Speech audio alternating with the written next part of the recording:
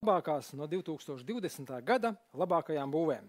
Gudināsim pasūtītājus, arhitektus, projektētājus, būvzraugus un būvniekus. Šo pasākumu vadīšu es, Normons Grīnbergs, Latvijas Būvnieku asociācijas vadītājs un gada labākā būve Latvijā 2020 žūrijas priekšsēdētājs. Esiet sveicināti! Esiet sveicināti Latvijas būvnieki, sadarbības partneri, projektētāji, arhitekti, kolēģi, arī jūs, kas sekojat tiešraidēji, un visi kolēģi, kas sanākuši šeit klātienē. Uh, mēs šodien godināsim labākos, labākos no labākajiem, un tagad nelielai uzrunai mēs dodam vārdu ekonomikas ministrijas valsts sekretāram Edmundam Valantim.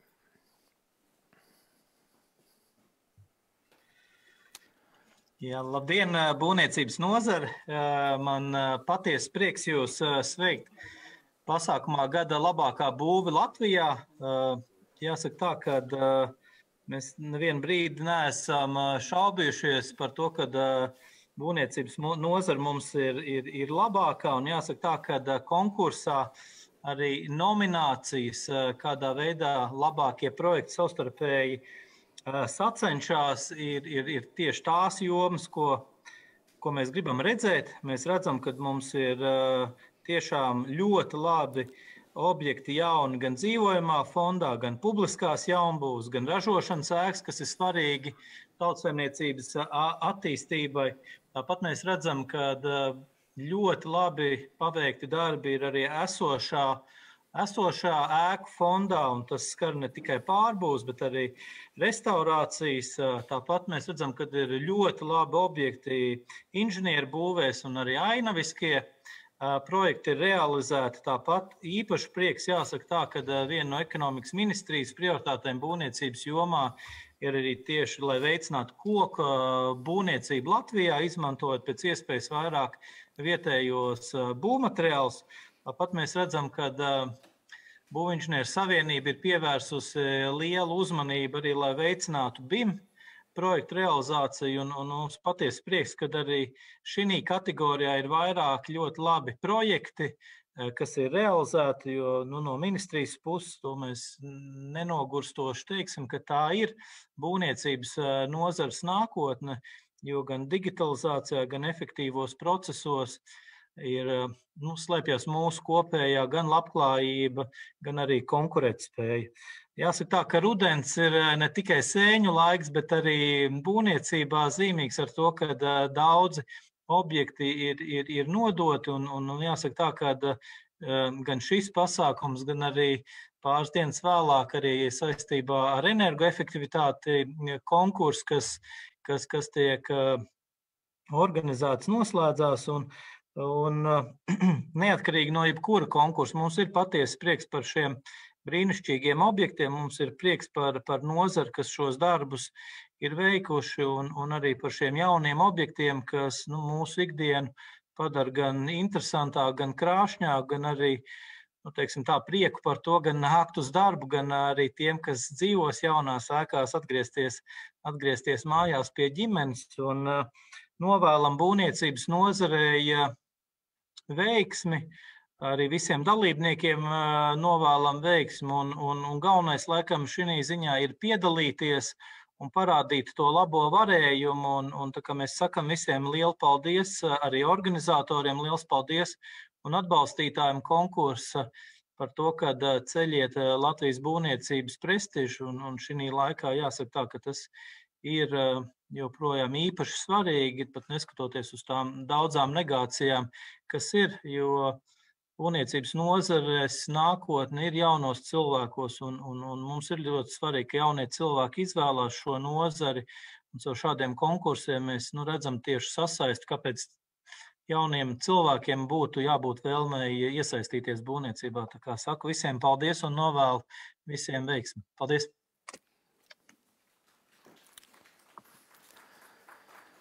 Paldies! Paldies valsts um, ekonomikas ministrijas valsts sekretāram Edmundam Valantim. Un tagad nelielai īsai uzrunai došu vārdu Latvijas Būvniecības Savienības valdes priekšsēdētājam Raimondam Eizenšmitam.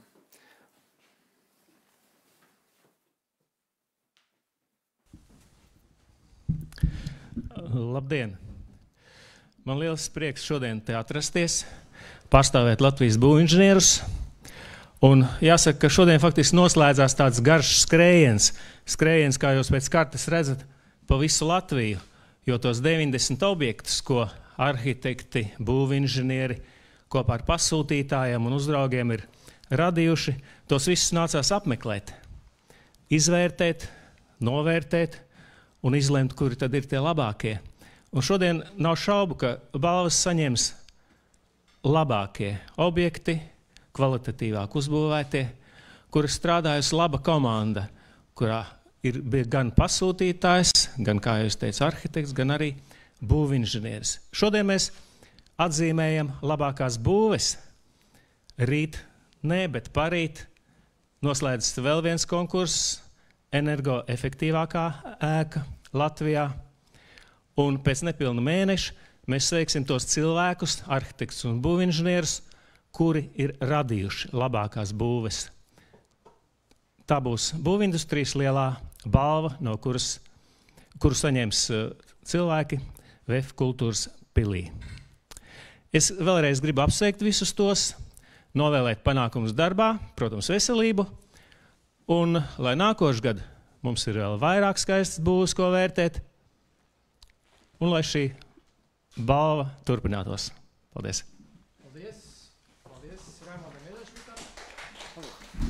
Un kā vēl vienu īsai uzrunāju, aicināšu mūsu galveno atbalstītāju, mūsu galveno sponsoru, Tiku Rila Latvijas pārdošanas direktoru Gati Kulbergu. Labdien! Milzīgs prieks būt šeit, pārstāvēt savu uzņēmumu Gribēju pavisam īsi teikt, ka um, šogad man bija tā lielā iespēja nedaudz aiz priekškara redzēt, kas notiek industrijā no iekšienes. Līdz ar to gribu izcelt vairākus, vairākus fragmentus. Tad organizatoru milzīgo darbu ieguldījumu, protams, visus tos dalībniekus, kas ir iesnieguši lielo, lielo skaistu. Bet īpaši laikam gribu izcelt un pateikt paldies lielai, lielo darbu, ko veica žūrija. Visa Latvijas karta, nu, tas ir fantastisks darbs, kurš, kurš ir veikts. Un, laikam, paldies visiem par iesaistīto šo darbu. Paldies!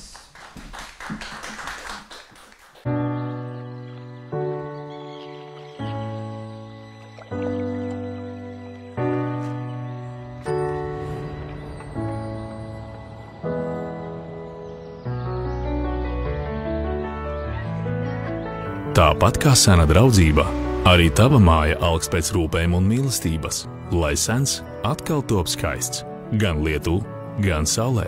Tik kurila ārdarbu pārklājumi kokam ilgstošai aizsardzībai. Skatas mērķis ir veicināt būvniecības procesa kvalitāti, nosakot un popularizējot labākās būves un labās prakses piemērus, veicināt profesionālo izaugsmu un darba kvalitāti, izteikt atzinību un motivēt nozares pārstāvis profesionāliem izaicinājumiem, akcentējot būvniecības procesa gala rezultātu būvi. Skatēji gada labākā būva Latvijā 2020 bija pieteiktas 90 būves, astoņās nominācijās. Tās ir pa visu Latviju. Man aiz muguras ir karte, un tur ir atzīmētas šīs pieteiktās būves. Kā mēs redzam, īpašs īpatsvars ir ap Rīgu, Rīga, Rīga un, un pierīgas. Nu, protams, Rīga un Latvijas centrs ir tā vieta, kur arī visvairāk tiek būvēts, bet tajā pašā laikā mēs redzam, ka arī pa visu Latviju būvniecība notiek. Žūrija strādāja desmit dienas. Žūrija kopā nobraukāja pa Latviju vairāk kā 3000 km, apskatot un vērtējot dabā 83 būves. Īpašs izaicinājums bija divās no šīm desmit dienām, kur bija jāapseko un jānovērtē 12 būvas dienā. No visām pieteiktajām būvēm finālā ir nokļuvušas 48. Un šīs 48 būves mēs šodien arī sveiksim. Savukārt īpaši paldies un patiesi pateicības vārdi sakām žūrijai. Tie ir vairāk kā 50 nozares profesionāļi, arhitekti, būvniecēji, projektētāji, būvuzraugi un citi uh, speciālisti. Tikai pēc rūpīgas izvērtēšanas un brīžiem ļoti karstām diskusijām žūrija pieņēma lēmumu, kuras būves ir pelnījušas godalgas. Jau 23. gadu notiek skate gada labākā būva Latvijā. Jau 23. gadu Latvijas Būvnieku asociācija kopā ar Latvijas Būvnieku savienību un pavisam kopā ar 23 Latvijas būvniecības nozares sabiedriskām organizācijām, pārvaldes institūcijām, augstskolām vērtē Latvijā jaunās būves, kuras kā dārgakmeņi izceļas ar savu spēku, enerģiju un skaistumu. Tā nu šogad sanāk. 23. gadu un 23 nozares sabiedriskās organizācijas. Šajās organizācijās mēs pēc būtības pārstāvam nozari. Un tas ir tas vienojošais spēks, un tas ir tas viedoklis, ko, pauž, ko mēs kopā paužam - nozare. Skatis gada, skatis gada labākā būva Latvijā 2020 rezultātu paziņošana notiek šeit. Esena pārdaugavas dārzos, Iļu ciemā, Dzirciem ielā 123. Šī tiešraide ir vērojama Latvijas Būvniecības Savienības mājaslapā un skats profilā Facebook gada būve. Balvas varēsiet šodien saņemt līdz pulkstens 18. šeit. Savukārt tie, kas šodien nevarēs šeit ierasties, balvas saņems citā laikā, iepriekš to saskaņojot. Skate var, noteikt, skate var notikt pateicoties sponsoriem. Īpaši paldies ģenerāla sponsoram Tikurilla. Paldies sponsoriem Vivacolor, Saingobēn, Baurok, SBC, Mapei, Ejot, CMB, Mitek Baltika, Perī un Infoēra. Jūsu atbalsts mums ir ļoti nozīmīgs, jo pateicoties jums, tikai pateicoties jums, var notikt šī skate. Paldies arī informatīvajiem atbalstītājiem. Īpaši paldies gribu izteikt žurnālam Būņģinieris par lielisku un profesionālu sadarbību. Pēdējais žurnāla numurs, starp citu, iznāk mēnesi vēlāk, tagad, septembrī, kurā tiek atspoguļoti visi skatas rezultāti. Lielas paldies visiem skatas dalībniekiem, paldies visiem būvju iesniedzējiem, pasūtītājiem un būvniekiem. Visi jūs esat nosaukti un jūsu būvis ir aplūkojams šā gada skates gada grāmatā. Tūlīt parādīšu gada grāmatu, bet pirms tam gribu teikt, ka šogad mums sesto reizi ir izdota gada grāmata. Un es jums parādīšu, kā tas izskatās. Tas izskatās apmēram šādi. Diezgan smagas grāmatas, piecas no iepriekšējiem gadiem un pēdējā šī gada. Šīs, šīs grāmatas visas varēsiet arī jūs šodien saņemt.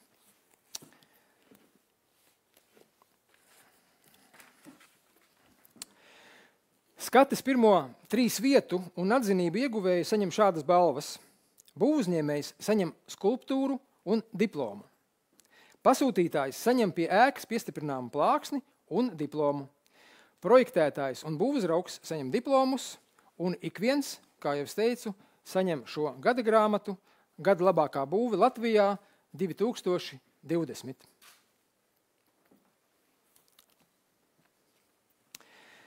Ik viena skates gada labākā būva Latvijā 20, 2020 nominācija ir nosaukta kādā dārgakmens vārdā. Šie dārgakmeņi piešķir šai nominācijai īpašu nozīmi. Mums ir astoņas nominācijas un astoņi dažādi dārgakmeņi. Cita starpā gribu atzīmēt, ka nominācija BIM objekts un nominācija koka būve ir īpaši veidotas nominācijas, lai izceltu un vairāk um, um, popularizētu tieši koka būvniecību, lai vairāk izceltu un popularizētu būvniecības informatīvās modelēšanas digitālo rīku pielietošanu būvniecības procesos. Bet kamēr žūrija izvērtēja Latvijas dārgakmeņus, Latvijas labākās būves, arī bērni ar metāla apstrādes uzņēmumu SBC atbalstu rīkotā, rī, rīkotajā konkursā Mana novada dārgakmeņa jaunā būve zīmēja sava ciemata, pilsētas, ceļus, tiltus un mājas. Mēs saņēmām šajā konkursā 250 darbus no visas Latvijas. Zīmējumiem bija tūkstošiem skatītāju Facebook. Zīmējumus izvērtēja Latvijas Mākslas akadēmijas studenti un skates organizatori. Un arī šie zīmējumi ir atspoguļoti šajā gada grāmatā. Gada grāmatas beigās ir visi šie labākie, labākie novērtētie zīmējumi atspoguļoti. Bērni māk zīmēt.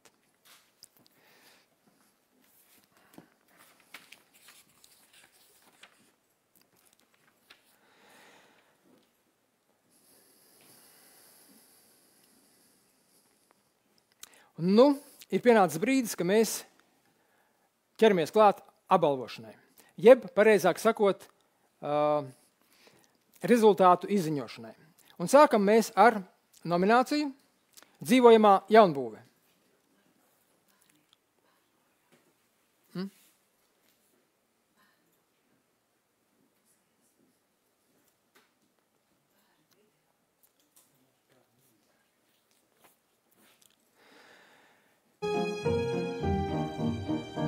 Tātad pirmā nominācija. Ah. Mums ir, mums ir aizgājis video ar bērnu zīmējumiem. Ja? Pareizi? Ok, mēs nedaudz paskatāmies vēlreiz jā, pie bērniem.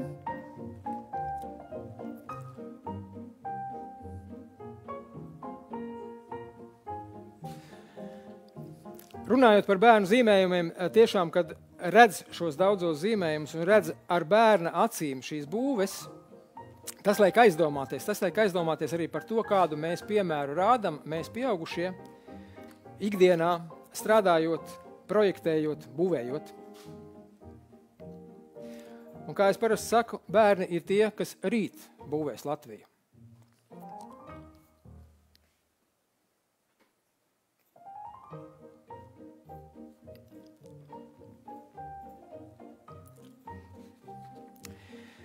Un nu gan ķeramies klāt, un nominācija dzīvojamā jaunbūve. Atzinību nominācijā dzīvojamā jaunbūve saņem daudz dzīvokļu dzīvojamās mājas jaunbūve Strēlnieku ielā 4B Rīgā. Uh,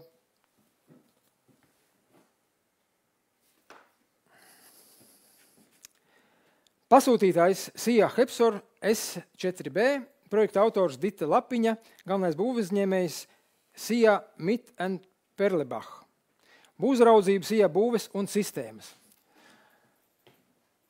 Šī ir viena, mums ir vairākas atzinības, šī ir pirmā. Nākošā atzinība. Nē, atvainojos. Trešā vieta. Trešā vieta nominācijā dzīvojamā jaunbūve. Mhm, ejam vēl uz priekšu. Šī bija strēlnieka iela. Jā. Un tagad mums ir trešā vieta dzīvojamā jaunbūve. Merks viesturdārs, pirmās kārtas ēka, Rūpniecības ielā 25. Projekta autori Merks, galvenais būvuzņēmējs Merks, būvuzraudzība Sija Baltica Construction Consultancy un projektētāji konstruktori SIAK forma. Ļoti daudz uzņēmēju, darbu uzņēmēju, ļoti daudz iesaistītās personas. Trešā vieta nominācijā dzīvējamā jaunbūve. Apsveicam!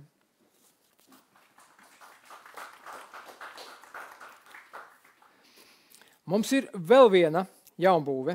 Atvainos, mums ir vēl viena trešā vieta. Mums ir vēl viena trešā vieta nominācijā dzīvojamā jaunbūve, un tā ir Lofts and Rose Gold.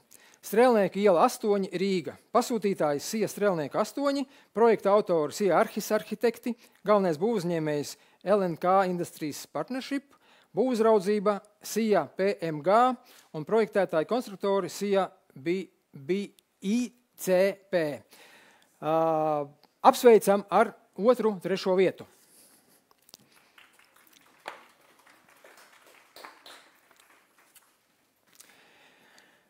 Otrā vieta nominācijā dzīvojamā jaunbūve. Hoft vai lidojošo koku nams. Strelnieka iela 5 Rīgā. Pasūtītājs SIA R Evolution 21, projekta autors SIA inženieru birojas būve un forma, galvenais būvuzņēmējs SIA Velve, būvuzraudzība SIA PMG. Apsveicam ar iegūto otro vietu.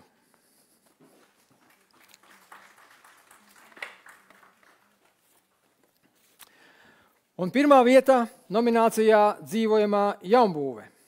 Pirmo vietu saņem būve Lindenholmā.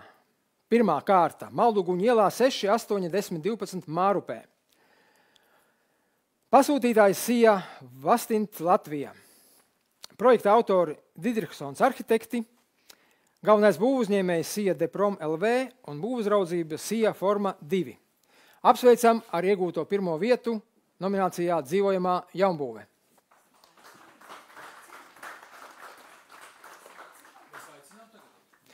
Vai ir uh, šīs pirmās vietas ieguvēji šeit klāt? Ir atbraukuši, mēs klātienē pasniegsim pirmās vietas ieguvējiem balvas.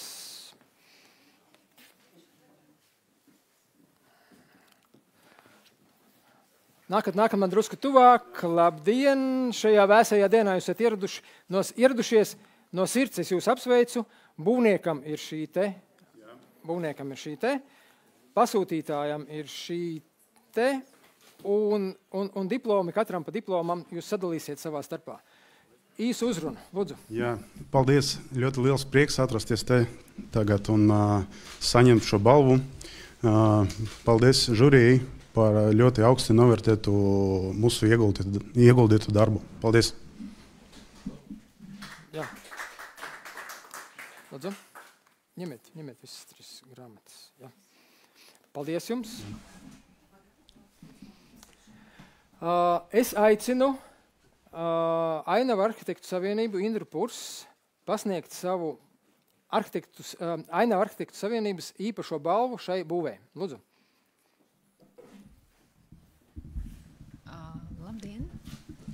Latvijas Ainama arhitektu asociācija šogad lēma piešķirt īpašo balvu būvēi, kurās izcilība ainava arhitektūrā un ainava būvniecībā citās kategorijās, kā ainava ir, ir nu, kā, mm, izcilība ir pāri pārējām visām citām būvēm. Un, uh, Eh, tieši Lindenholmas tā, tā veiksme un tas labais sniegums ir pasūtītāju, proje, projektētāju, būvnieku uh, sadarbībā. Šī partnerība ir arī radījusi šīs lieliskās uh, privātās, publiskās ārtelpas, šos lieliskos stādījumus un brīnišķīgo dzīvojamo vidi. Uh, jā. Jā. Paldies!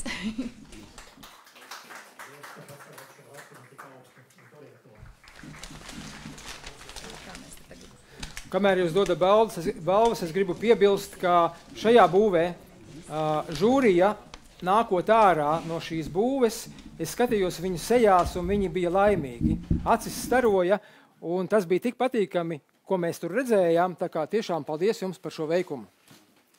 Paldies! Vai šeit ir mūsu atbalstītājs Perī? Vai ir Zumā Perī? Nav. Tad es perī vārdā arī pasniedzu. Tad es arī perī vārdā pasniedzu šo perī uh, spēcbalvu arī šai būvei. Un, uh, atvainojiet, paldies, ka jūs mani, mani, man, jā, pie, paldies, tas arī jums bija viss. Paldies jums. Perī balva iet citam, jā. Perī balva ies citam, jūs man sajaucāt. Uh, mēs ejam tālāk.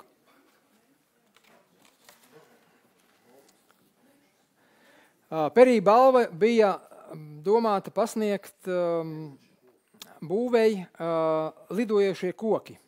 Vai mums ir kāds šeit no šīs būves vai otru, otro vietu, kas saņēma? Nav. Ja nav, tad drusku vēlāk. Labi. Uh, mums šai būvēji arī ir vēl viena Bauroko. Mums ir arī Bauroko simpātija balva, arī tiek pasniegta uh, projektam Merks Viesturdārs. Vai mums ir šeit klāt no Merks Viesturdārs būves? Arī nav. Labi, nodosim, nodosim spēc balvu, Bauroka spēc simpātiju balvu šai būvei. Mēs varam doties tālāk. Kolēģi?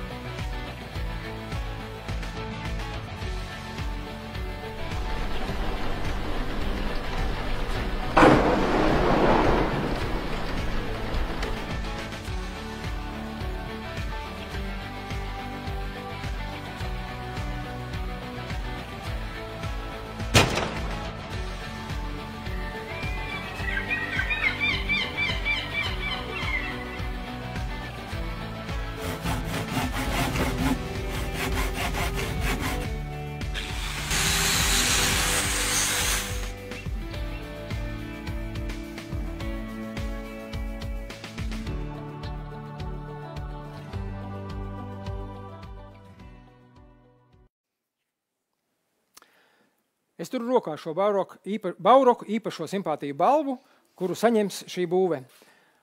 Apsveicam! Un mēs ejam, mēs ejam tālāk uz nākamo nomināciju. Un nākamā nominācija mums ir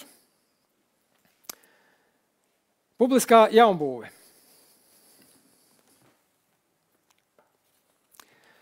Atzinība nominācijā Publiskā jaunbūve. Būve Dienvidu vārti. A klases biroja noliktavu un tirzniecības telpu komplekss Reizeknas ielā 5A Rīgā.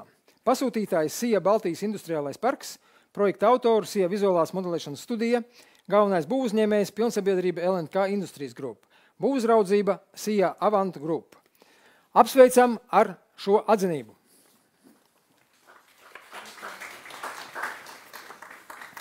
Mums ir vēl viena atzinība nominācijā Publiskā jaunbūve, un šī atzinība nonāk pie būves tirzniecības centrs Sāga, Biķer, Biķeru iela 4, Drēliņi, Stopiņu novads. Pasūtītājs Sija Rīga Retail, Retail Park, projekta autori TP Bennett ASUPB, arhitekta kompānija Ivars Šļifkas birojas. Galvenais būvuzņēmējs akcijas sabiedrība UPB, būvuzraudzība, SIA būvkonsultants. Apsveicam!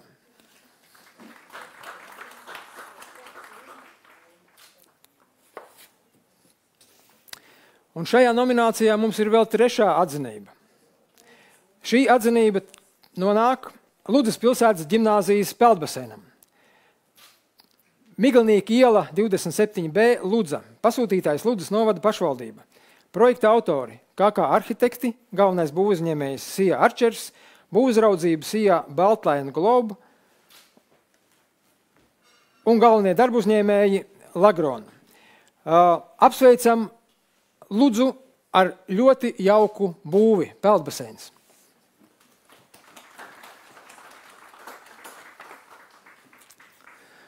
Un nominācijā publiskā jaunbūve trešā vieta. Trešā vieta izcilai būvēi. Tiešām rezultāts ir ļoti izcils. Es atkal atceros, pirms es tagad saucu, es atceros, kā šajā būvē skatījās žūrija ar kādām acīm, ar kādu, kādām patīkamām sajūtām.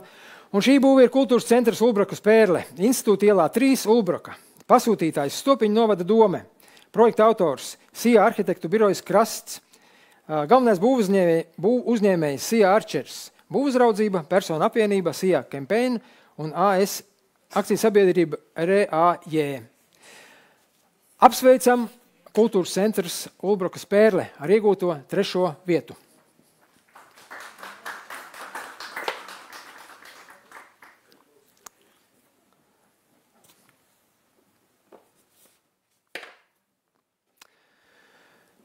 Kā jūs redzat, tad nominācijā Publiskā jaunbūvē mums ir daudz būvju. Un, un šī, šeit bija arī žūrijai, ko galvu palauzīt, ko salīdzināt, ko novērtēt, ko pastrīdēties.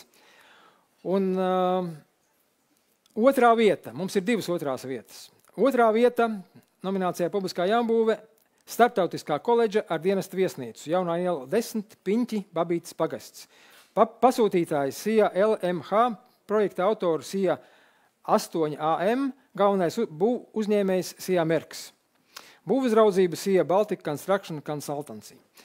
Apsveicam koledžu, ar, apsveicam starptautisko koledžu ar iegūto otro vietu. Un otra, otrā vieta nominācijā publiskā jāmbūve ir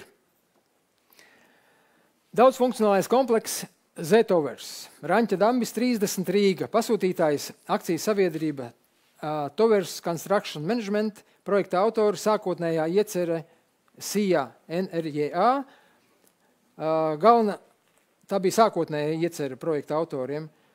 Un pārbūvu interjers SIA SZKT.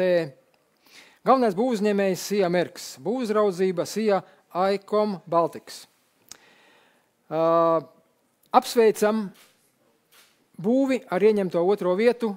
Kā mēs redzam, šī būve ieņem Rīgā ļoti īpašu vietu. Mēs viņu vienmēr redzam, jebkurā vietā mēs esam Rīgā, Daugavas tūmā šī būve ir redzama tālu. Apsveicam!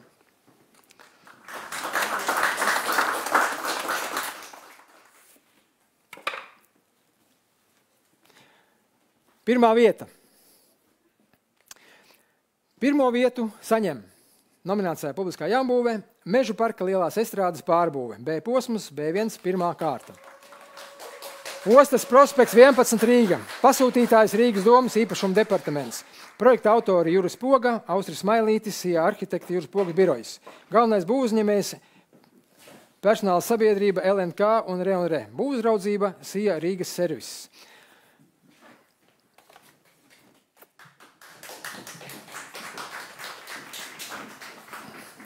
Apsveicu. Lūdzu. Šeit ir plāksne. Un šeit ir diplomi. Lūdzu. Paldies par balvu. Eh, tiešām uh, mums bija lepnums par to, ka mēs bijām daļa no šī stāsta, uh, Meža parka lielās estrādes atzimšanas stāsta. Un ceram, ka nākotnē tā priecēs gan dziedātājus, gan dejotājus, gan uh, klausītājus, gan skatītājus, gan, pasūt, gan pasākuma dalībniekus, gan viesus. Tiešām uh, estrādē, kaut arī viņa nav redzama tālu no tālienes, viņai jākļūst kā daļai no Rīgas pilsētas vizītkartes. Paldies visiem! Paldies, Lūdzu, grāmatas! Paldies!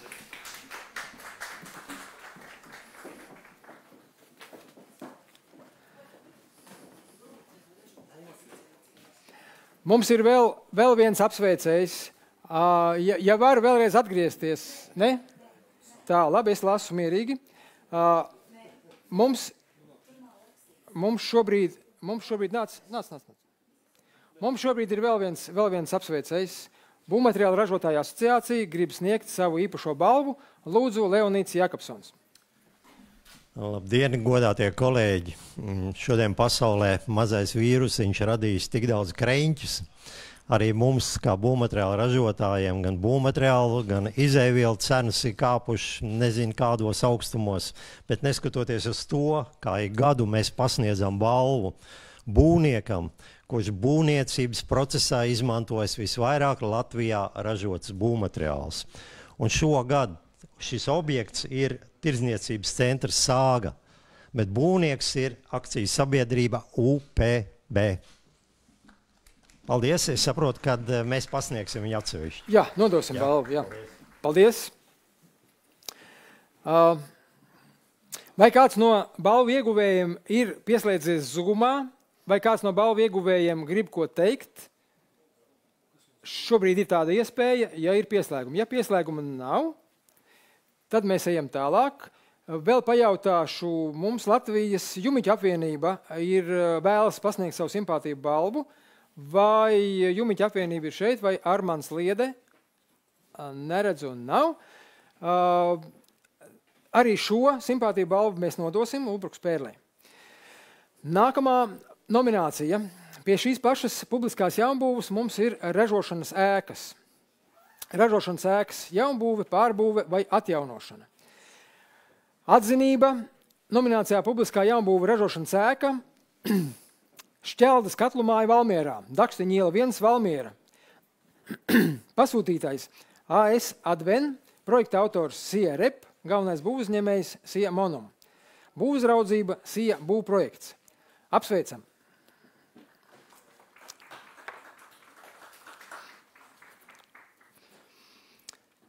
Trešā vieta.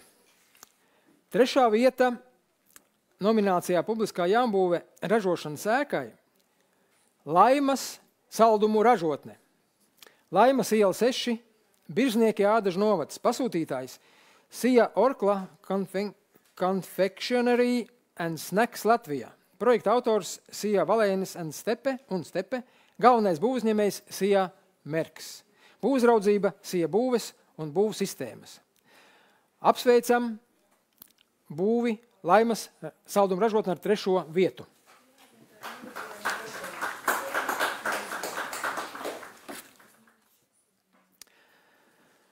Otrā vieta - ražošanas ēka. Pastas ražotne un bioloģiski audzētu graudaugu pārslu ražotne. Spodrības iela 4 dobele. Pasūtītājs - akcijas sabiedrība Dobeles Zirnavnieks. Projekta autori - SIA Vimbas MF, galvenais būvuzņēmējs SIA PK serviss, būvuzraudzība SIA Zirke. Apsveicam ar otro vietu!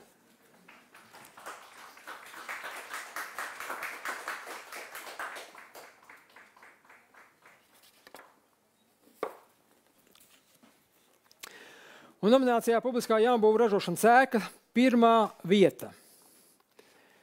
Pirms es saku, kura būva ir iegūst pirmo vietu, gribu teikt, kaut ko tādu es vēl Latvijā nebiju redzējis. Un laikam jau tāpēc, ka Latvijā otras tādas būves nav. Tā ir jaunbūve.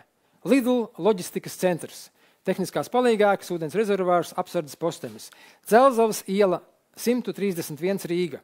Pasūtītāji Sija Lidl Latvija, projekta autors uh, Sarma un Norde arhitekti. Galvenais būvniecības Sija Merks, būvzraudzība, Sija būves un būv, būvsistēmas. Apsveicam ar pirmo vietu Lidl loģistikas centru. Vai mums ir kāds no būvnieka vai Lidl? Nav. Nodosim balvas. Paldies!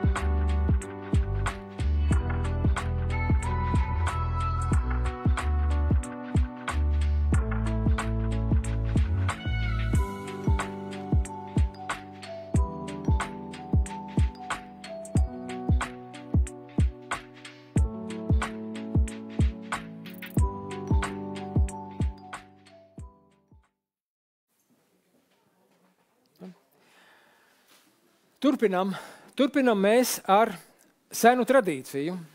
Skatē gada labākā būve apbalvošanas ceremonijām mēs uh, iepriekšējos gados katru gadu izcēlām īpašu un īpašu balvu sniedzām labākajam konstruktoram.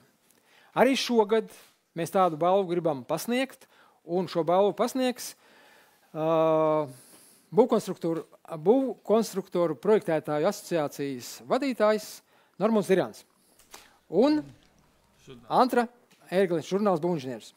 Uh, labdien! Uh, Latvijas Būvniecības Savienības uh, žurnāla būvniecības vārdā uh, piešķiram šo balvu tādēļ, ka uh, mūsuprāt, uh, konstrukcijas, labas konstrukcijas, oriģinālas, ilgspējīgas, unikālas ir uh, jebkuras būves pamats. Bez tā mēs neko nevaram uzbūvēt. Un tāpēc uh, piešķiram šo balvu, paļaujoties uz uh, profesionāļu lēmumu.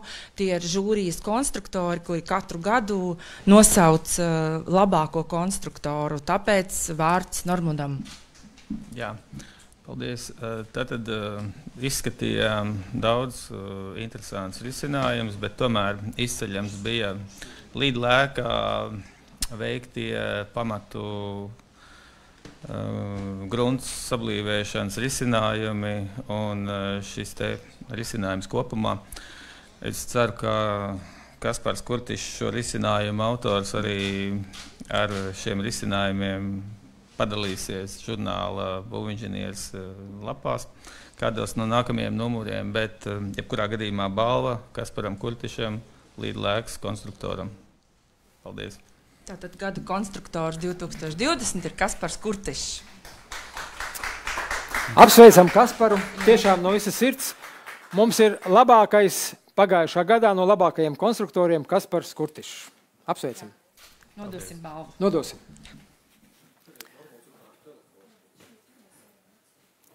Saucam. Vai ir Normons Mitko šeit? Redzu, ka ir.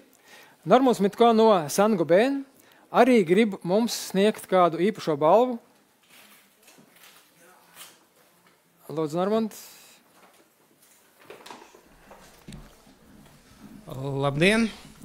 Pirmkārt, jau pasākuma organizētājiem paldies par iespēju Sangobainam pasniegt savu simpātiju balvu arī šogad. Un šogad mēs šo balvu gribam pasniegt par ēku, ja precīzāk par māju, pavisam vienkārši, kura ir, ja tā varētu teikt, ir sasniegusi izcilus siltumtehniskos parametrus. Un, tā ir privāta māja, CMB projekts. Māja, kas atrodas Zeltiņa ielā 82B. Un, uh, kāpēc mēs uh, izceļam tieši šo objektu? Uh, tāpēc, kad uh, šīs mājas apkures uh, rādītāji ir uh, četreiz mazāki, kā to piesaka uh, patreizējā Latvijas būvnormatīvi. Un mūsuprāt, patreizajā situācijā, kad praktiski ikdienā mēs saskaramies ar jautājumiem par, jeb, teiksim tā, ar problēmām, ko rada CO2 emisijas, tad es domāju, ka šādas mājas pavisam drīz vairs nebūs četreiz labākas par būvnormatīviem, bet lēnām būvnormatīvi arī sasniegs šādas prasības jebkurai jēkai. Ja, un šo balvu mēs gribam pasniegt CMB pārstāvjiem. Ir mums, ir mums arī no CMB.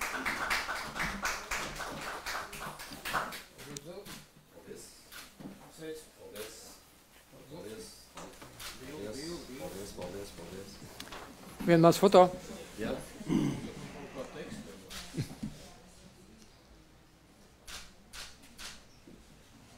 Paldies par augsto novērtējumu.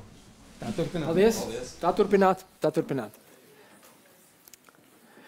Uh, mēs turpinām.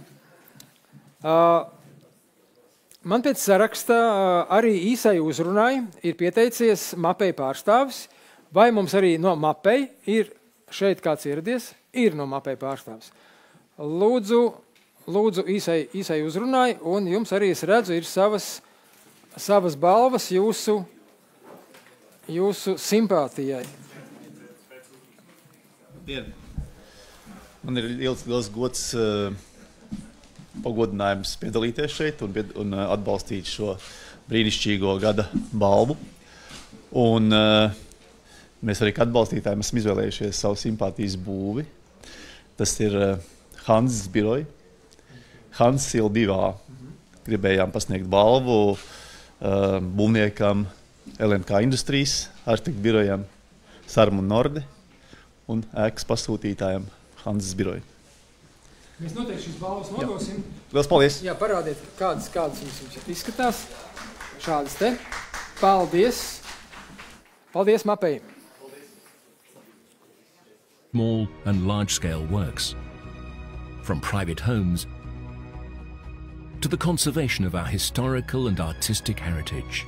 In MAPE, research is a fundamental cornerstone in order to support this progress, adapting to suit increasingly ambitious and complex projects. Helping to make the thoughts behind evolution a reality. Because without research, there cannot be quality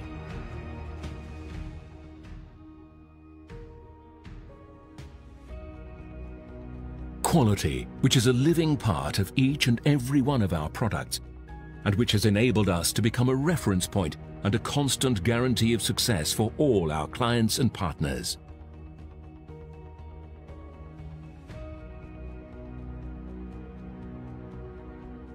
Because only with quality is it possible to guarantee solutions with the capacity to actually change the way we construct and think organising seminars and training courses, workshops and conventions every year for all our professionals from the sector.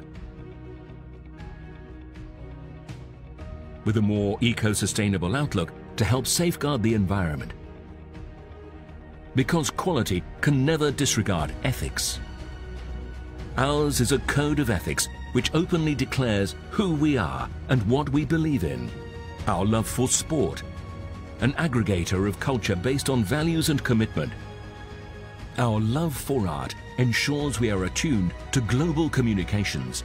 We are proud to be at the forefront where our own history is the future, a future that we can already reach out to and touch. This is us. We are Mapei.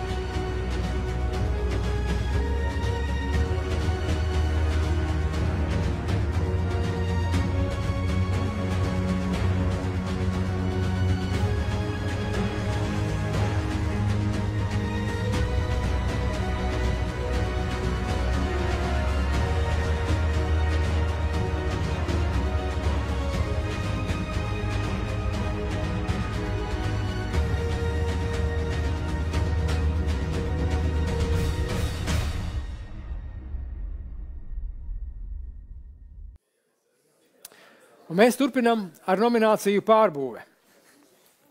Atzinība nominācijā pārbūve saņem Sabilas mākslas un kultūras un turisma centrs, Srauta iela 4 un 4A, Sabile, Talsu novads. Pasūtītājs Talsu novada pašvaldība, projekta autora Marija Solov Solovjova, galvenais būvuzņēmējs Sija Bau Art, būvuzraudzība Sija 3D Solution. Apsveicam Sabilas mākslas un kultūras un turisma centru.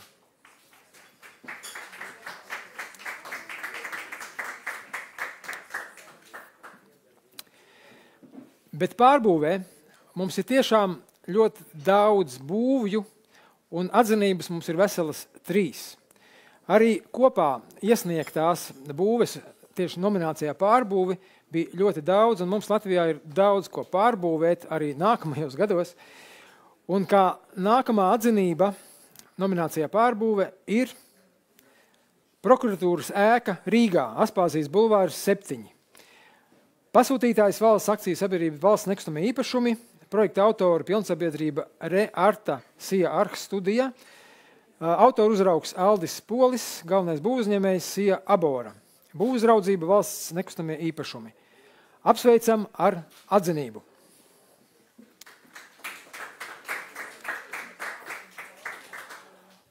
Un vēl trešā atzinība nominācijā pārbūve Siguldas valsts ģimnāzija. Ata Kronvalda iela 7 Sigulda. Pasūtītājs Siguldas novada pašvaldība, projekta autors Sija kā ideja, galvenais būvuzņēmējs Sija Monum, būvuzraudzība Sija firma L4. Apsveicu Siguldas valsts ģimnāziju.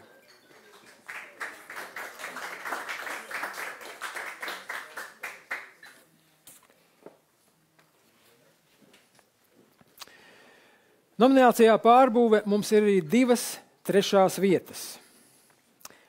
Trešā vieta - viesnīcas konventa sēta, ēku pārbūve un fasāžu atjaunošana. Kalēja iela 911, Rīga. Pasūtītājs Sija Kalēju 911, projekta autors akcijas sabiedrība Palasta arhitekts, galvenais būvuzņēmējs Sija Pillar Constructor. Būvuzraudzība Sija būvuzraugi. Apsveicam viesnīcu konventa sēta. Un otra, trešā vieta – Alojas Ausakļa vidusskolas lielā skola. Ausakļa iela 1, Aloja.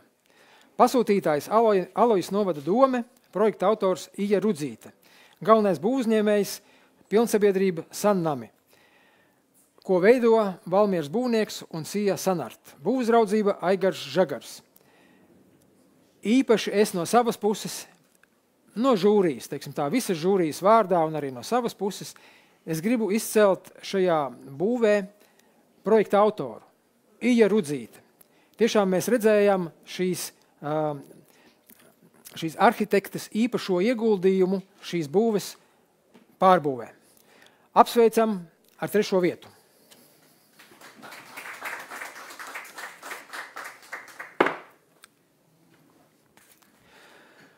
Otrā vieta nominācijā pārbūve. Pasiekstes veidzirnavas. Vārvis pagasts, Ventspils novads. Pasūtītājs Sija MS Avlo, projekta autors Eriks Cerpiņš, galvenais būvuzņēmējs Sija Gemini Investments, būvuzraudzība Gvido Judeiks. Apsveicam ar šo mūsu uztverē augsto otro vietu pasiekstes veidzinavām. Ja. Un pirmā vieta nominācijā pārbūve. Biroja ēka Miera ielā 25. Biroja ēkas pārbūve un pagalma ēkas nojaukšana. Biroja iela, tātad Miera iela 25 Rīgā. Pasūtītājs Sija Rohe Latvija. Projekta autors Sija Didriksons arhitekti. Galvenais būv, uzņēmējs Sija Pro Dev. Būvzraudzība Sija Arhis arhitekti. Vai ir šeit klāt pirmās vietas ieguvēji, pārstāvji, būvnieki, pasūtītāji? Nav.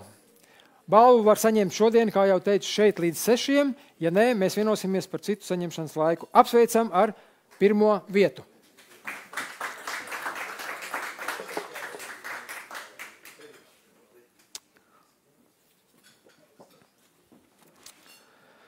Un mēs varam iet tālāk uz nākamo, nākamo um, nomināciju.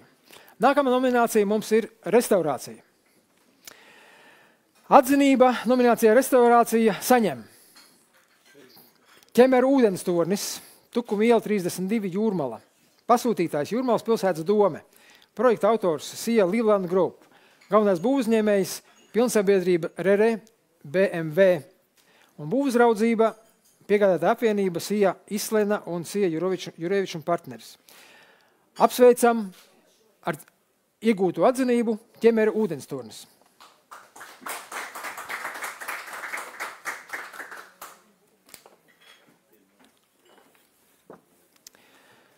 Trešā vieta nominācijā restaurācija.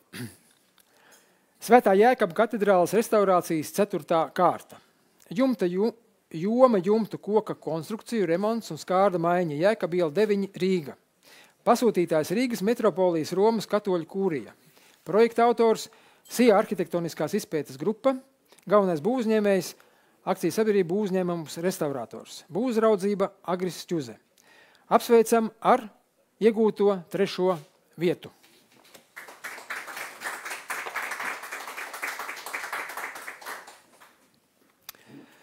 Otrā vieta nominācijā - restaurācija Siguldas jaunā pilsēta. Pilsēta 16 Sigulda. Pasūtītājs Siguldas novada pašvaldība, projekta autori Sija arhitektes Ināras Caunītas birojas, galvenais būvniecības personas apvienība Rere Būve 1 Būvzraudzības IA firma L4. Apsveicam Siguldas jauno pili ar iegūtu otro vietu nominācijā restaurācija.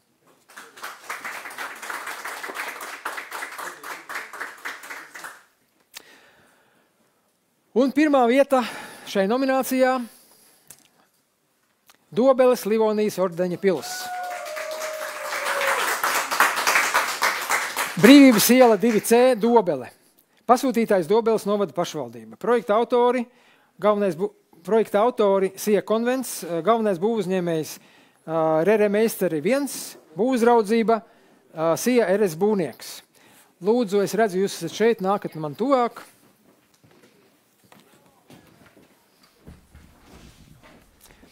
Apsveicu, apsveicu būvnieks, apsveicu. Pasūtītājs, lūdzu. Lūdzu, jums diplomi. Jūs, kad, jā.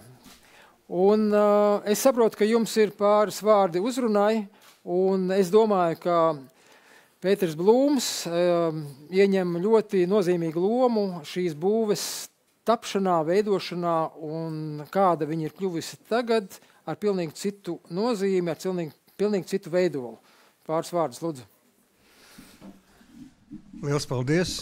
Tas ir pagodinājums, un tā ir uh, laime piedzīvot to pēc 20 gadu gatavošanās, projektēšanas, pārliecināšanas, neticēšanas, zaudējumiem. Un uh, stāstīt varētu ilgi. Tas ir ārkārtīgi skaisti, ka pilsētai var uzdāvināt jaunu pili vecā ādā, jeb otrādi. Un uh, es gribu visiem uh, būvinženieriem, kolēģiem nodot nu jau uh, atpūtā aizgājušas nu jau būvinženieris Irēnas Boks vārdus. Viņa man piezvanīja un teica, es pie, vairāk kā 50 gadus strādāju par būvinženieru, bet šis man bija smagākais.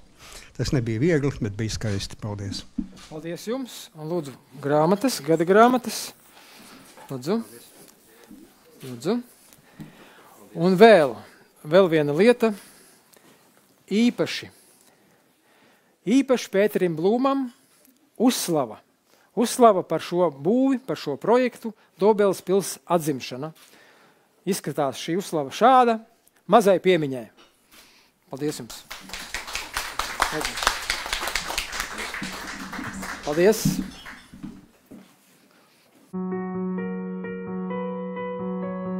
The history of Perry begins with a vision by Arthur Schwörer. Construction work is meant to become easier, faster, and safer. Innovation power and pioneering spirit enable the young company to grow rapidly. From the very beginning, Perry's success is based on clear values respect for the individual, the best possible service to the customer, and striving for outstanding performance. Subsidiaries are established all over the world. Groundbreaking projects make the Perry brand internationally known. Architectural masterpieces are realized with Perry material. Perry becomes one of the innovation leaders in the formwork and scaffolding industry. A modern family business, well prepared for a bright future.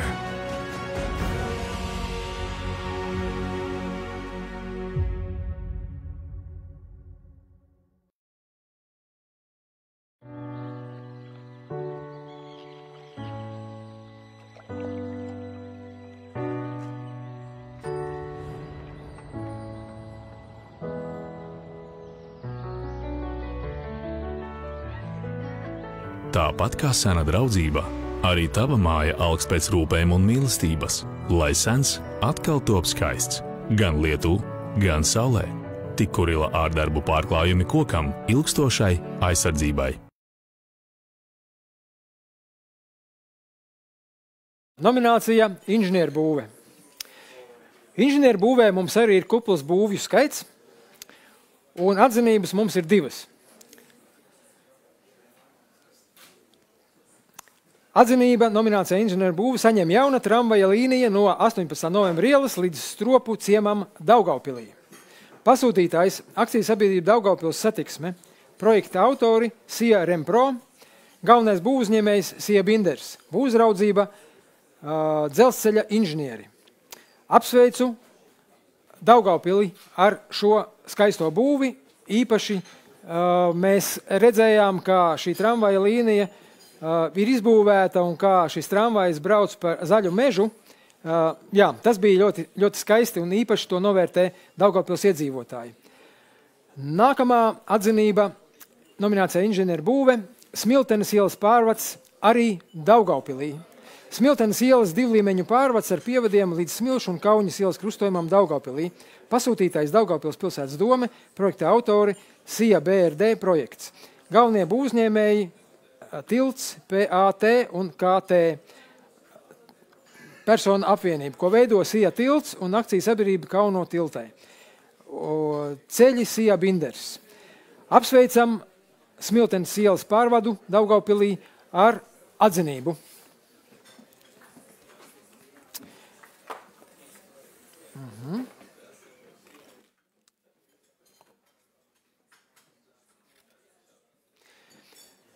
Mums ir arī divas trešās vietas.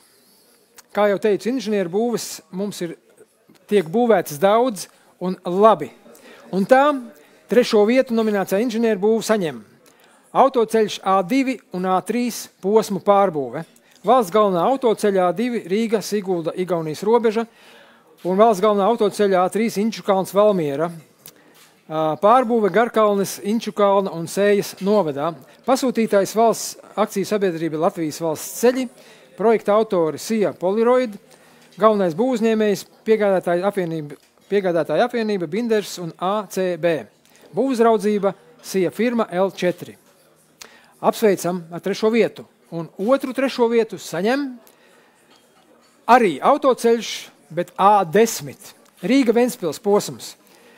Pasūtītājs val, Latvijas valsts ceļi, projekta autors akcijas sabiedrība ceļu projekts, galvenais būvniecējs piegādātāja apvienība ACB un Binders. Būvzraudzība SIA firma L4. Apsveicam ar iegūto trešo vietu.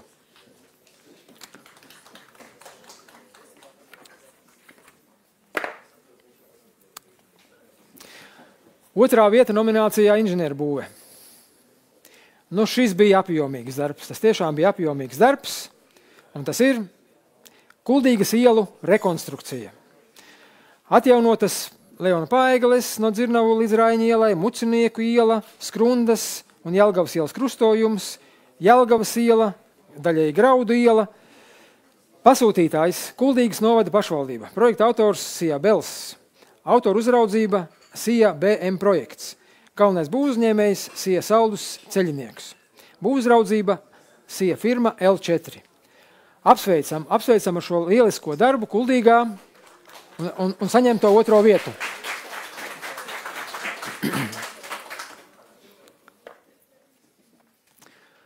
Un pirmā vieta nominācijā inženierbūve. Un pirmo vietu saņem piektais perons starptautiskajā lidostā Rīga.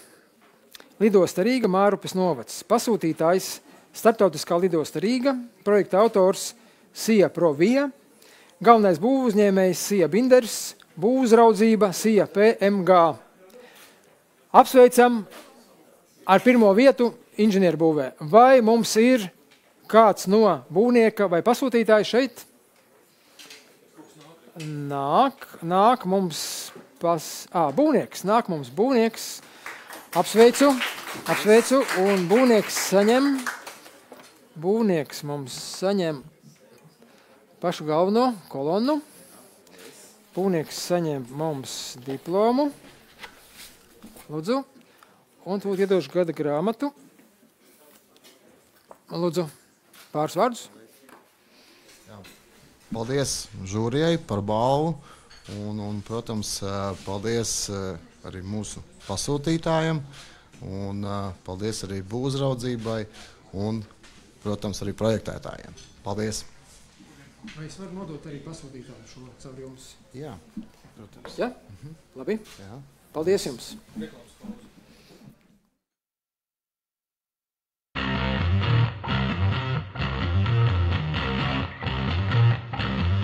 I love my job as a construction engineer. I love the fact that no project is like the next, and there are always new challenges. To meet the challenges, I need the right partner. And this partner offers more than just a good product. It is about much more. For example, supporting my colleagues on site. It is about trust and safety, and about connections. I can rely on AYOT that everything is delivered on time. And if more parts are needed on site, they can be reordered quickly online. A building is a combination of thousands of different large and small parts. But often it is the smallest parts holding everything together. So I have to be sure that only the best quality products are used. AYOT offers optimum fastening solutions to ensure that builder, specifier and installer are truly satisfied. With intelligent, efficient and clever products that convince in all areas. Safety and reliability are paramount. I can rely on this.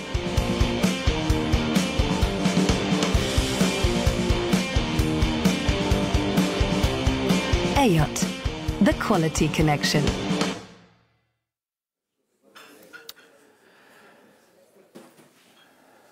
Nelielu uh, vārdu gribu dot uh, Sergejam Pislēganam no Būvbāzes LV, kuram ir sava simpātiju balva.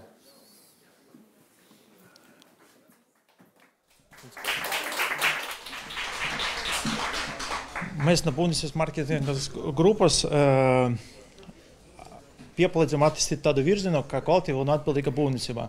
Mēs redzam, ka kvalitāte, kvalitāte pieaug, un mēs gribam redzēt vairāk kvalitatīvu būvju un uh, dizaina interesantus. Tāpēc mēs izlēmām vienu no projektiem, tas ir Zetaurs, par to interesantu variantu, kas ir. Tāpēc paldies par šo būvju un ceram, tā vēl vairāk un interesantu objektu.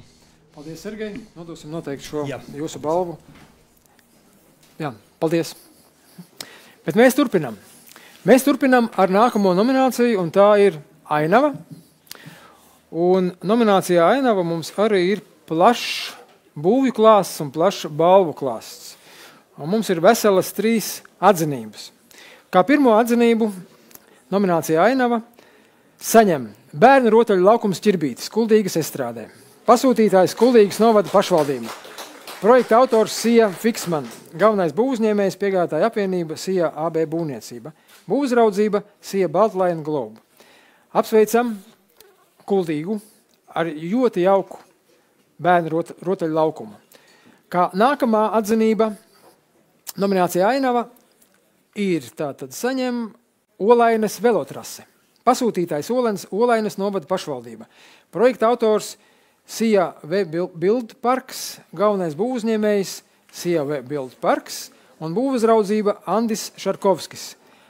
Apsveicam ar, ola, ar, ar velotrasi Olainē. Un trešā atzinība.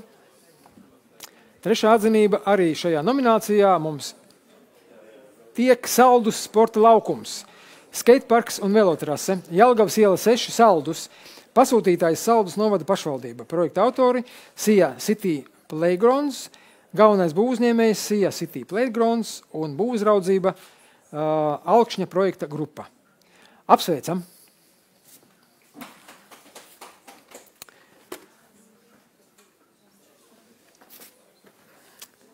Trešā vieta. Trešā vieta nominācijā Ainava Jauno stropu promenāde un pludmale Daugaupilī. Pasūtītājs Daugavpils pilsētas komunālās saimniecības pārvalde. Projekta autors Sija Arhis. Galvenais būvuzņēmējs Sija Latgales ceļdaris, būvuzraudzība Sija Roadlat. Apsveicam ar šo skaisto promenādi gar ezeru Daugavpilī un trešo vietu.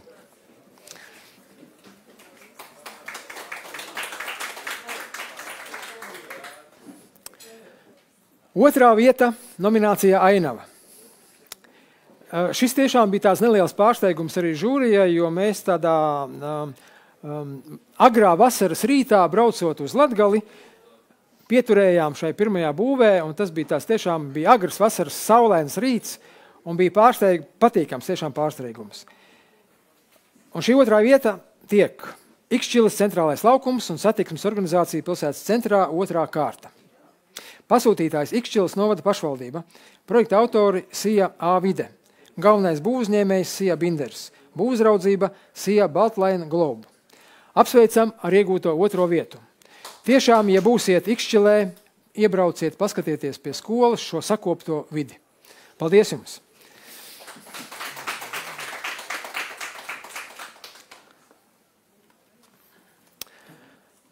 Un pirmā vieta nominācijā Ainava. Un to saņem Smiltenes vecā parka un vidus ezera hidrotehniskās būves rekonstrukcija ezera tīrīšana. Vecais parks Smiltenē. Pasūtītājs Smiltenes novada dome. Projekta autori Sija Bels, galvenais būvuzņēmējs Sija uh, 8 CRB un būvuzraudzība Sija RS būvnieks. Apsveicam Smilteni ar šo ieņemto pirmo vietu, vai mums ir no pasūtītāja, no būvnieka, viņi būs vēlāk atbrauks pakaļ. Paldies!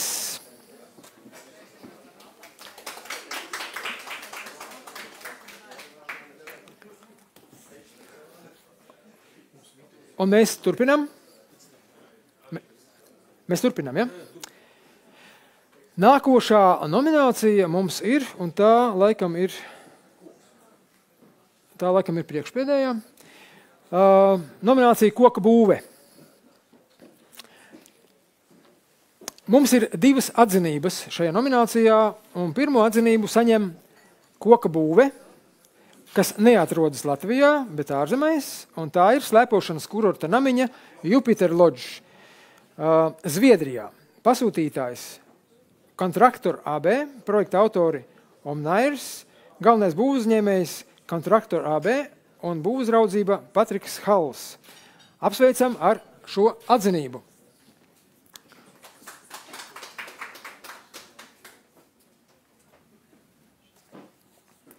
Otra atzinība nominācijā koku būve saņem Šķūņa jaunbūve koki, Klīves, Babītes pagasts. Pasūtītājs Edgars Nēlands, projekta autori Kristīna Rība, Ēriks Lipiņš, galvenais būvuzņēmējs Sija Labie koki, būvuzraudzība Evalds Pēteris Cirsis. Apsveicam!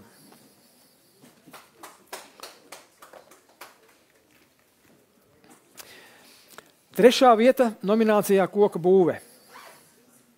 Jahtotāju servisa ēka Salacgrīvā.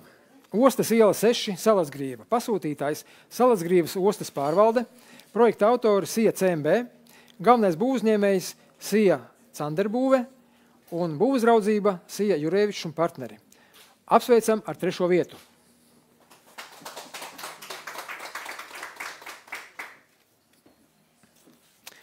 Otrā vieta nominācijā koka būve. Un otrā vieta tiek rūpnieciski ražota pasīvā dviņu māja Mārupē, Zeltiņu iela, Zeltiņu iela 82B. Pasūtītājs SIA CMB, Housing Solutions. Projekta autors SIA CMB, galvenais būvuzņēmējs SIA Passive House Factory. Projektētāji konstruktori no SIA CMB. Apsveicam CMB ar šo lielisko ēku un otro vietu.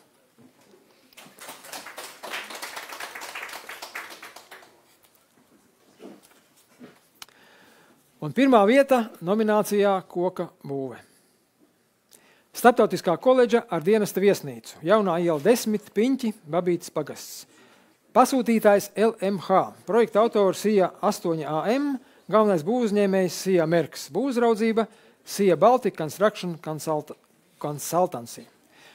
Apsveicam ar pirmo vietu nominācijā Koka būve. Vai mums ir pārstāvi no šīs būves? Nav klāt tad nodosim vēlāk. Apsveicam! Paldies!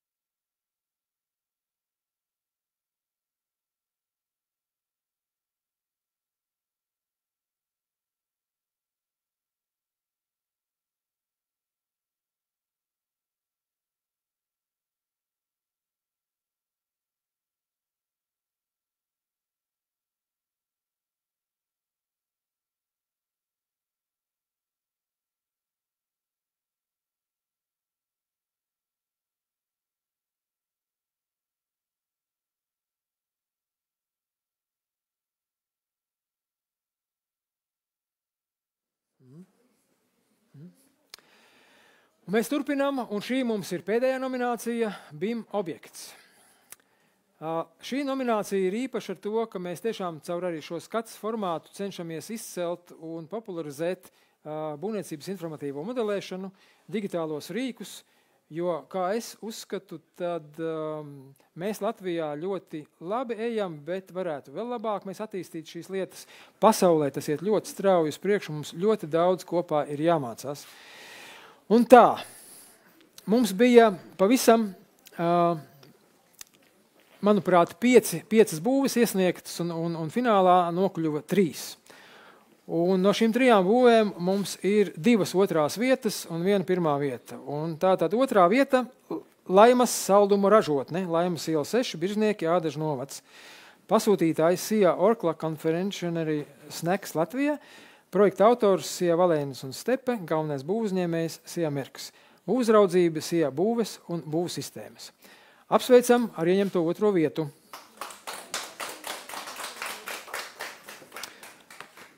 Un vēl viena otrā vieta nominācijā bija objekts - biroja ēkas pārbūve un teritorijas labiekārtošana Rīgā, Katlakalna iela 11E.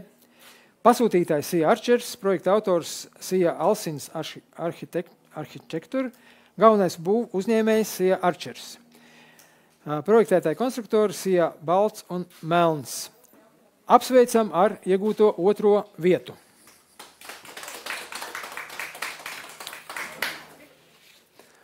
Un pirmā vieta nominācijā BIM objekts.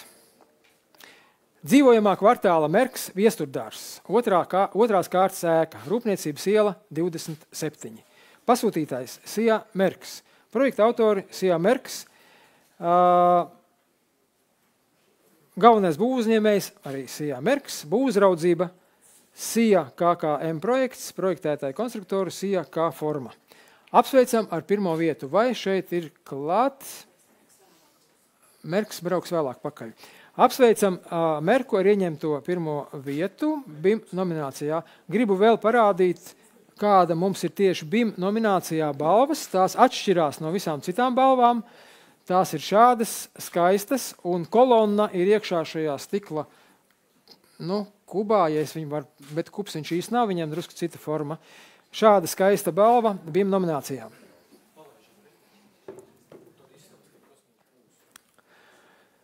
Mums ir reklāma.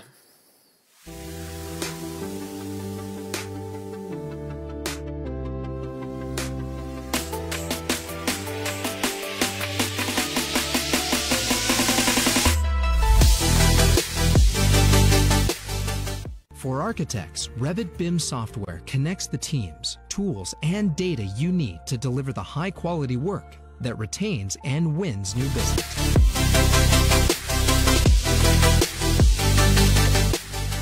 Autodesk BIM 360 provides one central location for construction professionals to store and manage project information.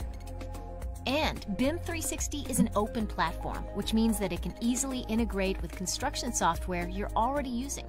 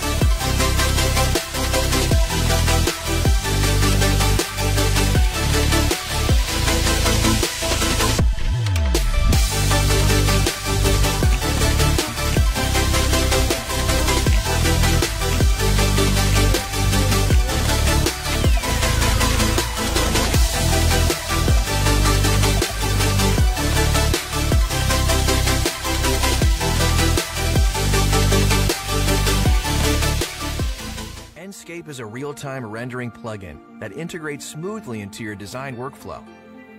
Compatible with SketchUp, Revit, ArchiCAD, Rhino, and Vectorworks. It connects seamlessly into your BIM and CAD software. Easy to use and no prior knowledge required.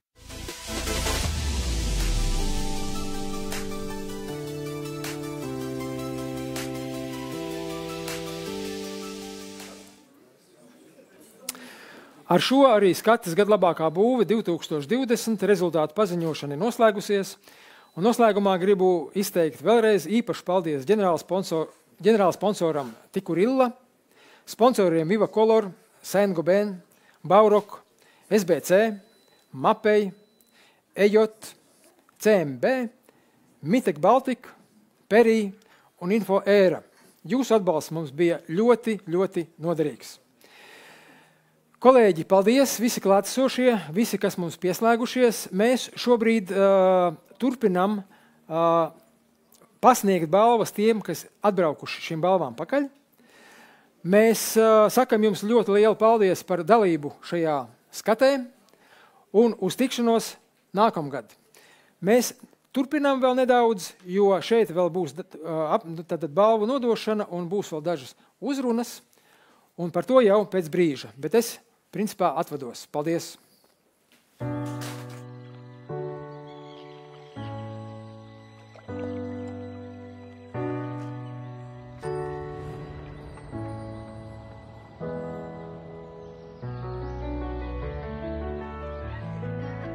Tāpat kā sena draudzība, arī tava māja augs pēc rūpēm un mīlestības, lai sens atkal top skaists gan lietū, gan saulē. Tik kurila ārdarbu pārklājumi kokam ilgstošai aizsardzībai.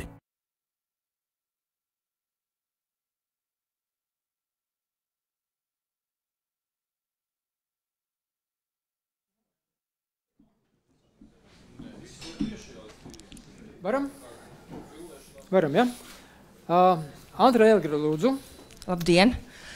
Tagad mēs aicinām tos, kuri ir atbraukuši balvas saņemt, nākt šeit. Jūs varēsiet pieteikt sevi, pateikt 5-7 vārdus, un Normans pasniegs balvas. Lūdzu, pirmā grupa. Labdien! Labdien. Kādu objektu jūs pārstāvat? Ieguvējs, Jā. pastas ražotne un biograudagu pārslu ražotne. Jā, tātad ražošanas objekts, eh, pastas ražotne un biograudu ražotne. Teiksiet kādu vārdu? Mārtiņ, Mārtiņš, konstruktors, lūdzu. Nē, nē, viss viss kopā. Mēs gribējām pateikt paldies par augsto novērtējumu un ka bija iespēja piedalīties šādā konkursā. Paldies. Paldies. Nav būvnieks. Es Jā, pārstāvu jā. būvnieku. Lūdzu, lūdzu, lūdzu, lūdzu, lūdzu. Uh, pasūtītājam plāksne un, un, un, un diplomu katram pieņemt ūt, iedot arī gada grāmatas. Yes.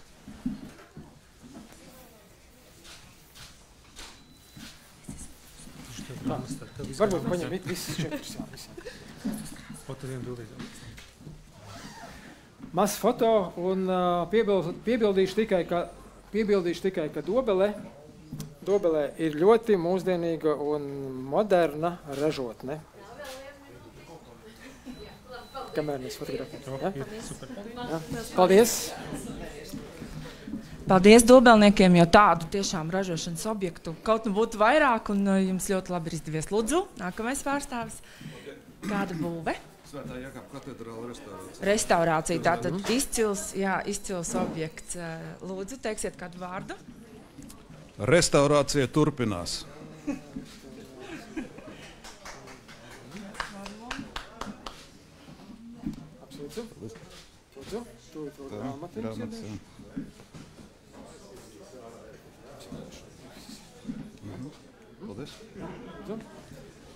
Paldies! Es domāju, ka nākamgad mēs apbalvosim nākamo kārtu Svētā Jākapa katedrālē. Eh, Lūdzu, nākamie. Nākamais objekts. Labdien, kāds objekts? Daugavpils trapu promenāde. O, stropu promenāde. Tur ir superīgi. Aizbrauciet visi uz turieni nopeldēties, lūdzu. Jā, lūdzu. Uh, jā, Daugavpils uh, pilsētas pašvaldības vārdā. Vēlos pateikties uh, gan organizatoriem, gan um, žūrijai. Un, uh, jāsaka, ka Daugavpilī uh, diezgan pieprasītas šīs promenādes. Un, uh, tagad mēs turpinām būvēt gan cietokšņa promenādi, gan bruģu ielas otro kārtu. Tā kā paldies vēlreiz! Paldies jums! Apsveicu, es dodu, dodu visu jums. Vai, vai, vai tad... Jā, mums tur vēl atzinības. Tas ir, tas ir par, par, par, par promenādi. Ja? Jā, Bet un vēl divas atzinības. Vēl divas atzinības. Tūlīt, jā, dod, dod, dod grāmatas. Kādas grāmatas? Es ceru, ka pietiekami. Vēl ir. Tā, mēs atzinības Tā, tūlīt, tūlīt, tūlīt. Tramvaja līnija. Tramvaja līnija. Te. Daugavpilī. Un vēl viena mums ir Smiltenes ielas pārvads. Ja? Cik jums daudz balvas? Es paturēšu, no, nobildēties. Smiltene triumfē. Aiznes trīs balvas. Daugavpils. Daug, atvainojos. Daugavpils triumfē. Jā, paldies. Es pārteicu. Rikard, paņ- paņemiet Es pārteicu. jā. Paldies jums. Jā, Daugaupils eh, ļoti izcēlās eh, šogad un tieši ar infrastruktūras eh, objektiem. tā kā Man šķiet, ka viņiem ir ar ko lepoties, un es domāju, ka iedzīvotāji arī to ir pamanījuši. Tādi viesi kā es to ir pamanījuši. Lūdzu, nākamais objekts. Labdien! Ah, jā, saldus, uh, saldus, jā, saldus Saldus, bija saldus, pie, saldus, jā, saldus, arī saldus. ainavas un aktīvās atpūtas objekts, par ko tiešām uh, liels prieks, ka vidas labiekārtošana ieņem tik nozīmīgu vietu. Paldies jums! Saldus. Saldus. Apsveicu. Apsveicu. Lūdzu. Tas jums jāsadala visiem tiem, kas tur ir. Jā, jā un grāmatas.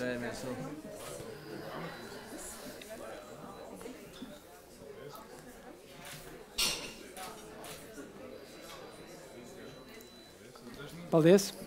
Paldies! Paldies, Saldum! Lūdzu, nākamie! Labdien! jā! jā.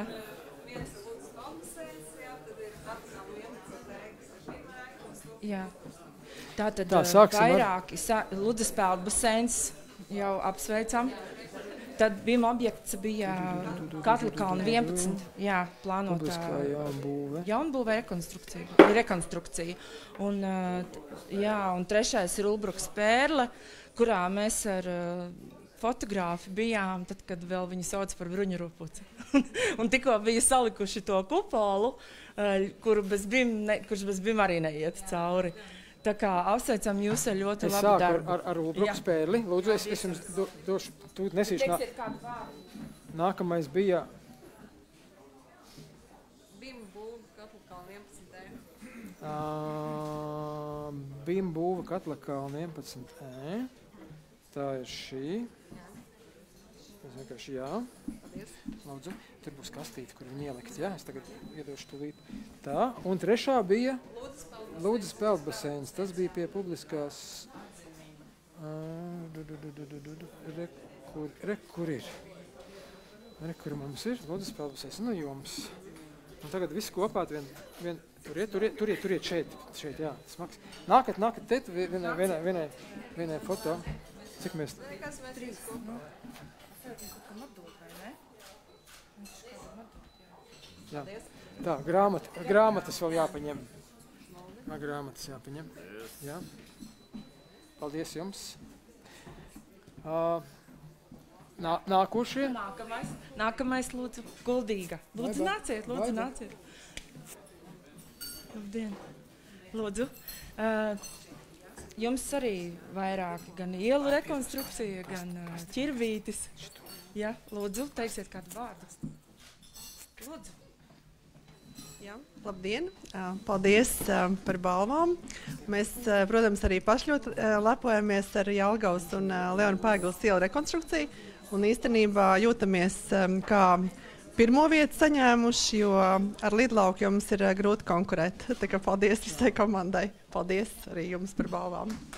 Tā, sāku ar, ar ielu. Tātad Ar ir ielu. Tas, būvniekam? tas būvniekam, tas smagais būvniekam. Nākat, nākat tuvāk, jā, lūdzu. Paldies. Lūdzu, lūdzu.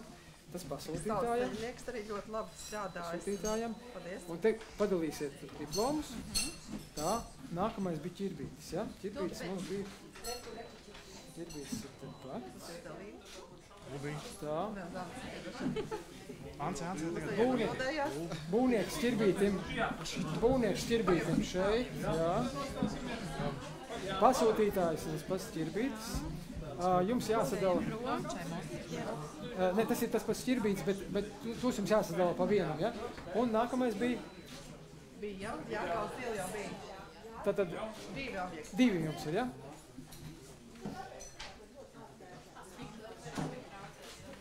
Nekas, pačē. Es arī varu piestāties klāt.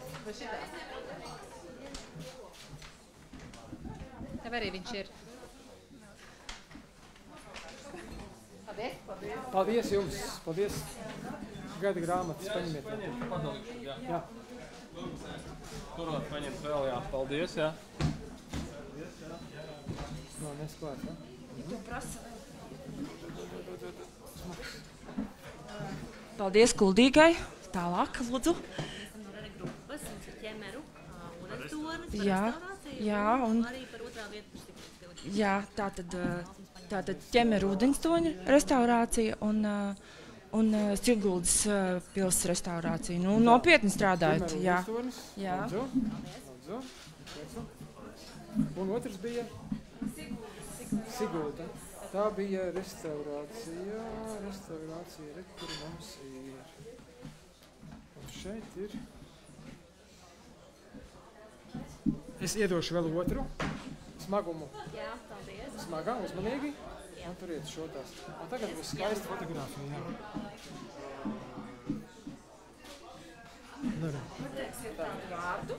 Paldies par novērtējumu. Jā. Paldies jums par labu darbu. Lūdzu, vēl kādi objektu pārstāvji? Ah, CMB. CMB. Būve, Oh, Mārupe. jā, paldies. Un Jā. uh, Salasgrīva, jahtotāja klubs, uh, projekt, projektēšanas puses, Jā. autors noteikti. Oriģināli privāta māja Mārupē. Jā, un, ā, diviņu māja. Jā, Tā. un atpūtas objekts. Jahtotāji, bet tad Jā. lūgums nodot, Jā. nodot būvzraugiem, būvu Jā, pasūtītājiem, pasūtītājiem, jā. ja? Jā. Tas būvniekam. Paldies. Un, un otra mums bija, kas mums bija otrā? Iekšā viss notiek kadrā. Kas bija otrā? Jā. Tas bija. Jā, tas bija. Jā. Tas bija. Ah, CMB dviņumā, rekur šitā. Dviņumā. Jā. Šitā ir zeltiņa iela, ja? Liels paldies. Lūdzu. Daudz. Lūdzu. Jā, nu, jā. Jā, mēģina paņemt kaut ko. Paņemsim, paņemsim. Vēl kā grāmatas. Grāmatas.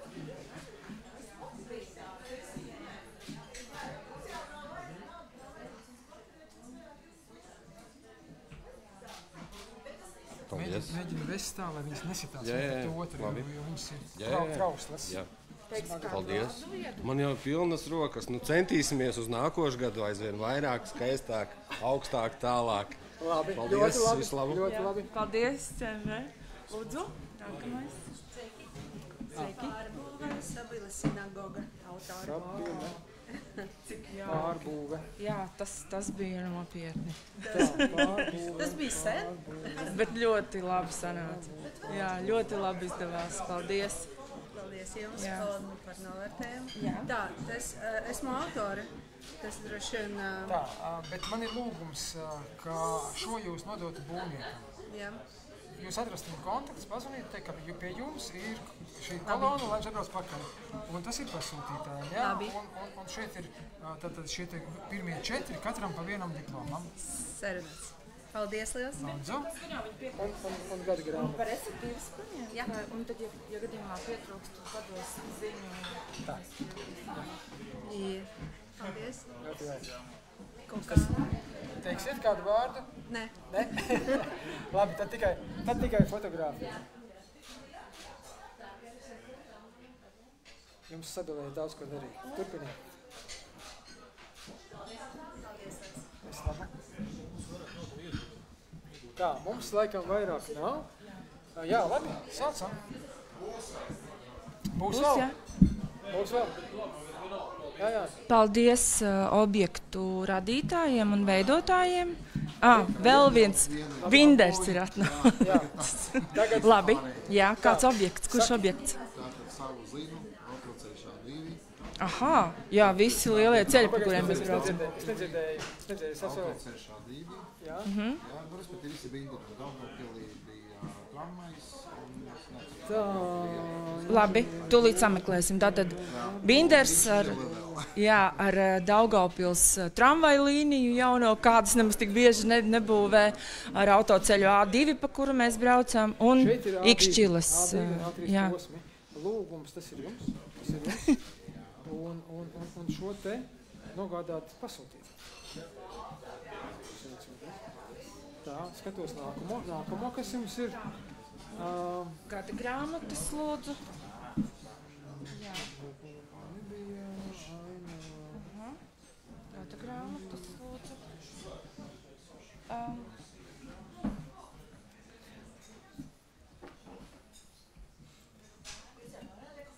Ad, ad, lūdzu, te vēl, jā, ad, A10, Ikšķiles ad, būvraudzība bet arī. A10 arī jums dodu. Nē. A10 arī jums dodu. A2.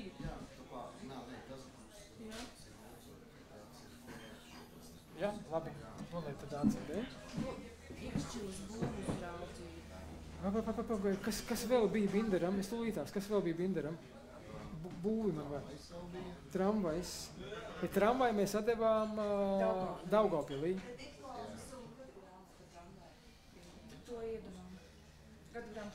Bet par, par Daugavpilu viss ir, tā kā par Daugavpilu viss atdevām Daugavpilī, vajadzētu jums pieiet pie Daugavpils klāt. Es viņiem vi- atdevu visu. Par Daugavpils atdevu visu. Uh,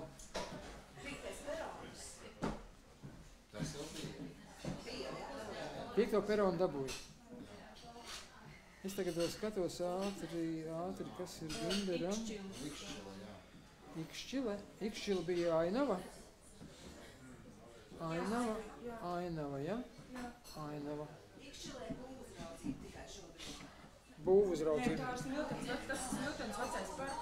Nē. Kāpēc es to paņēmu?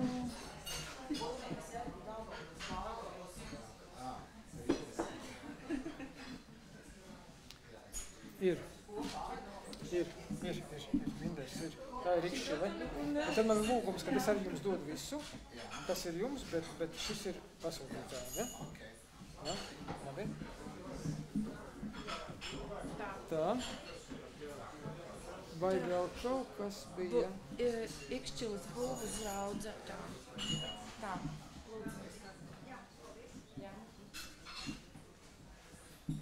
Tā.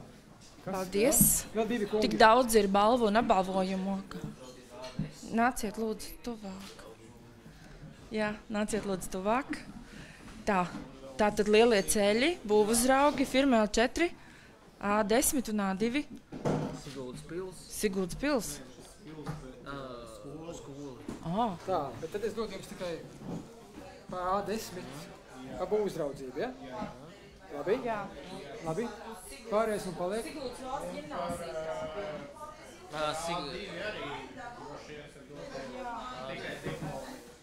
Par A2. Siguldas valsts gimnāzija. A2, A3 es atdevu visu tikko Binderam. Paņemiet savu diplomu no viņa, abu uzraudzību. Reku, reku, pie viņa. Ja? Jā. Gadu grāmatas gan jūs varat saksēt. Jā. Paldies jums. Tā par to Siguldas to skolu. Valsts gimnāzija. Ā, Siguldas valsts Tas gimnāzija. bija pie pārbūves, pie pārbūves, pie pārbūves. Tā, tā, tā pārbūves. Siguldas valsts gimnāzija. Arī, arī tikai autoru uzraudzība. Nu, būs uzraudzība, ja? Jā, jā, jā. Jā, lūdzu. Paldies.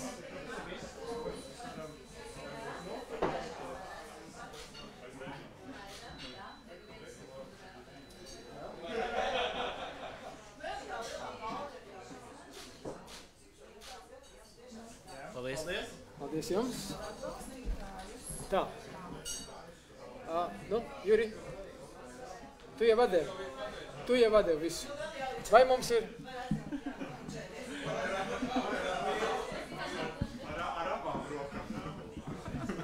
Šeit jau paldies ir saņēmis Tikur Ila. Ah, Tikur Ila, Viva Kolērs, jā, mikrofonu mēs paņemsim nost. Aba, abās rokās parādīja. Tā ir mūsu mazā, gada būs mazā, mazā skaistā koka mājiņa, kā paldies mūsu atbalstītājiem.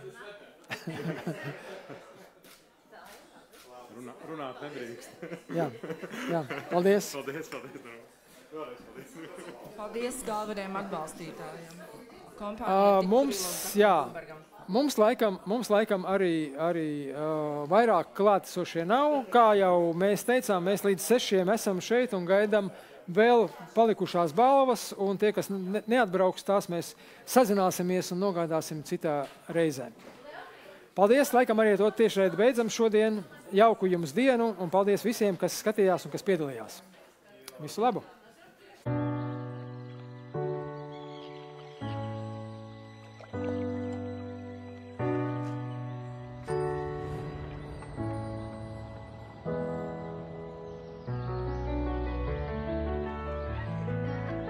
Tāpat kā sena draudzība, arī tava māja augsts pēc rūpēm un mīlestības, lai sens atkal top skaists gan lietū, gan saulē. Tik kurila ārdarbu pārklājumi kokam ilgstošai aizsardzībai.